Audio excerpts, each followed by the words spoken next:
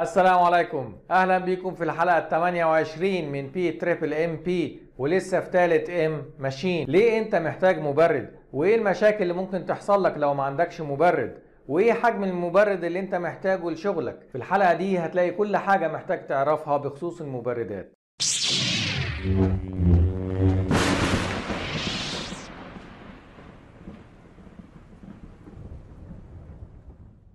بعد ما خلصنا كلامنا عن المكن في الحلقات اللي فاتت تيجي تاني أهم مكنة في صناعة البلاستيك واللي ما تكملش صناعة البلاستيك من غيرها. المبرد بالنسبة لمكن البلاستيك هو الرئة بالنسبة للإنسان أو الرادياتير بالنسبة للعربية. طب أنا محتاج المبرد في إيه؟ في صناعة البلاستيك عندي مصدرين من مصادر الحرارة. أول مصدر من مصادر الحرارة هي المكنة نفسها وترومبة الزيت بتاعة المكنة. اللي بتضخ الزيت في جميع أطراف المكنة. اللي طبعا نتيجة الضخ ده بتتولد حرارة بتسخن الزيت وتيجي هنا أول دور للمبرد في التبريد. تاني مصدر من مصادر الحرارة هو القالب بيجي من خلال البلاستيك المحقون.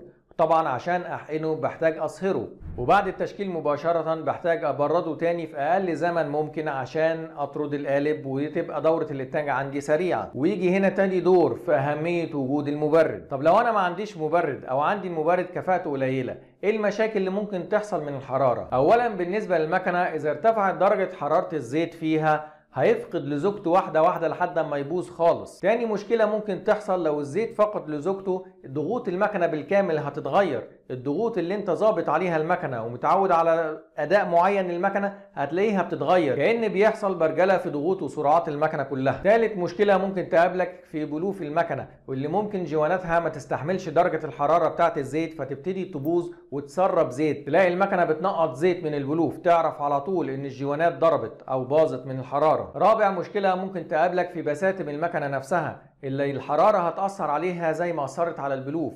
وزي ما جوانات البلوف باظت ممكن برضو جوانات البساتم تبوظ وتبتدي برضو المكنة تنقط زيت من البساتم بتاعتها. خامس مشكلة ممكن تقابلك في المكنة بسبب الحرارة في ترومبة المكنة اللي بدورها برضو بيبقى فيها جوانات بتتأثر بالحرارة. أما بالنسبة للقالب فالحرارة ممكن تأثر فيه كالآتي. أول مشكلة ممكن تقابلك في القالب هي تلف جوانات التبريد الخاصة بالقالب واللي بيسري عليها نفس اللي بيسري على البلوف والترومبة والبساتم. ولو أنت عندك منتج من اللي بيحتاج حرارة عالية للقالب زي البولامايد مثلا بيحتاج من 80 ل 120 درجة ظروف تشغيل أو درجة حرارة للقالب أثناء التشغيل. ففي الحالة دي لازم تراعي الموضوع ده وتركب له جوانات مخصوصة للحرارة جوانات حرارية. ونفس الشيء طبعا بالنسبة لخراطيم التبريد فالحرارة برضو بتأثر عليها وتخليها تضرب. فلو أنت عندك خامة بتحتاج حرارة عالية زي البولامايد يبقى أنت محتاج تركب خراطيم مخصوصة للحرارة. تاني مشكلة ممكن تقابلك في القالب بسبب الحرارة هو بداية تمدد القالب. القالب أول ما يسخن هيبتدي يتمدد. طب لو اتمدد هيحصل إيه؟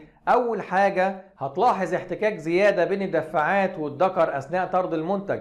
اللي لو استمر هيسبب في تسليخ الدفاعات دي أو زيادة الاحتكاك يؤدي إلى زيادة التآكل. وطبعا هتؤدي في الآخر إلى ظهور رايش في الدفاعات من أماكن طرد المنتج. ثالث مشكلة ممكن تقابلك في مساليب القالب. لو القالب بشكل مخروطي أو كونيك وخصوصا في الاستنباط اللي ما فيهاش صلادة عالية أول ما القالب يبتدي يتمدد هيزيد الاحتكاك بين القواطع هيحصل تآكل ما بين القواطع وبعضها ممكن يؤدي لعدم محورية القالب تلاقي الذكر رحل عن مكانه وبقى فيه جنب وجنب يعني جنب التخانه تزيد وجنب التخانه تقل رابع مشكلة ممكن تقابلك لو القالب سخن وابتدى يتمدد هيتغير مقاسه اللي المكنة متبرمجة عليه. فبدل ما المكنة شايفة إن القالب له مقاس معين هيكبر شوية بنسبة التمدد اللي تمددها فبالتالي المكنة هتقف. هيبقى كأن المكنة شايفة إن هي قافلة على حاجة جوه القالب فتلاقي المكنة وقفت.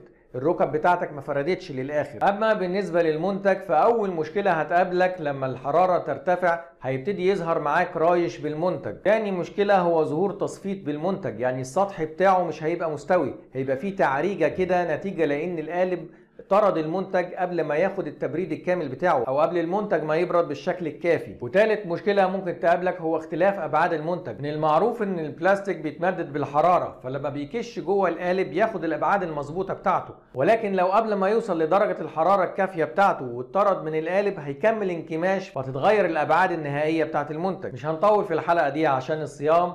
والحلقة الجاية إن شاء الله هنتكلم عن فكرة عمل المبرد وإزاي تقدر تحدد حجم المبرد اللي أنت محتاجه. نشوفكم الحلقة الجاية. سلام عليكم.